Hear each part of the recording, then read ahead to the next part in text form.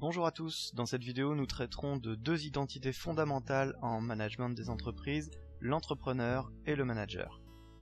Ces deux notions désignent des acteurs et des fonctions très différentes mais nous verrons qu'elles ont tendance à devoir se rapprocher.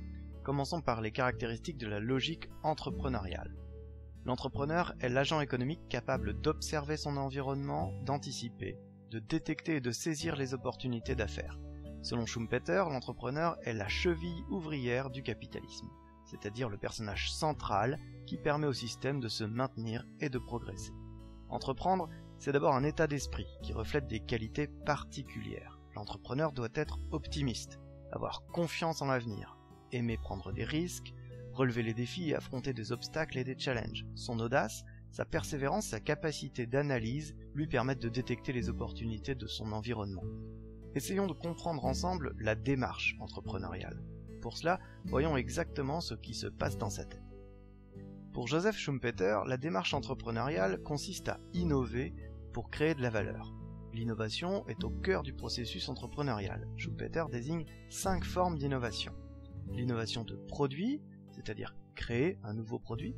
L'innovation de procédé, inventer un nouveau procédé de fabrication ou de distribution. L'innovation de débouché, trouver de nouveaux usages ou nouveaux débouchés pour ces produits.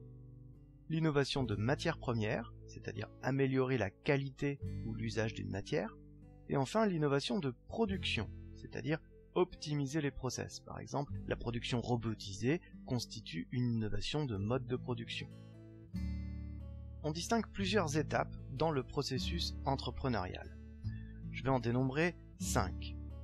Premièrement, développer une idée.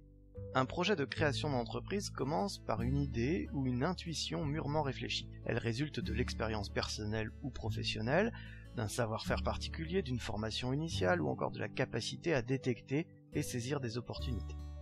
Deuxièmement, faire une étude de marché. Ça consiste à étudier la demande, l'offre portant sur un marché. Il s'agit de réaliser des investigations quantitatives et qualitatives pour connaître la cible potentielle, ses attentes et son comportement, mais aussi les offres déjà existantes et les concurrents, leur stratégie, leur part de marché. Troisièmement, évaluer les besoins et les ressources. La création d'entreprise nécessite d'évaluer les besoins liés à la création, à l'investissement, à l'exploitation et au développement de l'entreprise. Il est ensuite nécessaire de recenser les ressources disponibles ou nécessaires, telles que les ressources humaines, financières et techniques. Quatrièmement, élaborer un business plan. Le business plan, c'est un document qui recense les objectifs, les besoins, les ressources, les délais et les prévisions en termes de chiffre d'affaires, les résultats d'exploitation et de rentabilité prévisionnelle.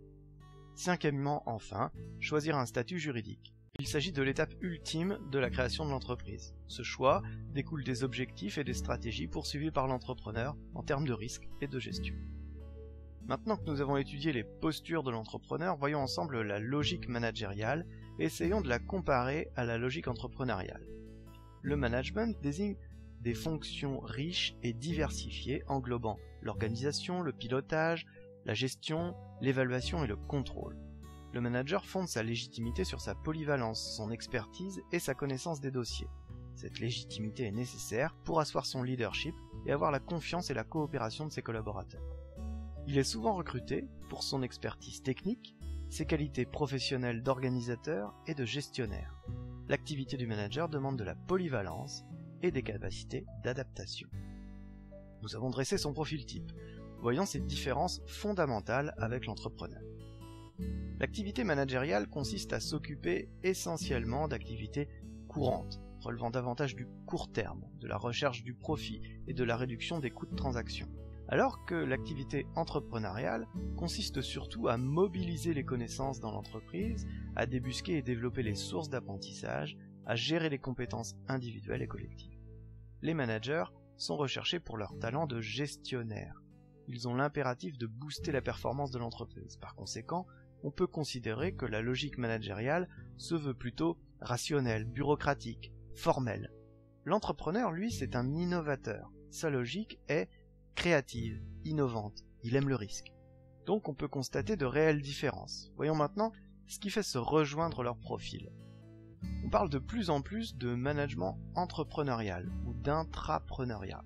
Il s'agit de trouver les complémentarités entre managers et entrepreneurs pour maintenir la capacité d'une organisation existante à agir de manière entrepreneuriale et toujours et encore entrepreneuriale.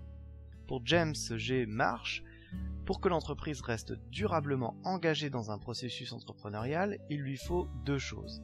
D'abord, innover en permanence et maintenir constamment un équilibre judicieux entre activités d'exploration et activités d'exploitation, c'est-à-dire un équilibre entre activités entrepreneuriales et activités managériales.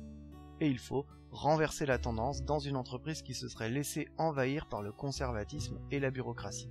Il faut toujours essayer de redevenir une entité d'abord entrepreneuriale.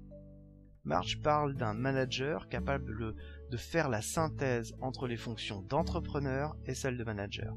Les managers de demain doivent être capables de prendre des initiatives, de devenir de véritables entrepreneurs qui remplissent un double rôle, celui de gestionnaire, mais également celui d'homme réactif, innovant et audacieux.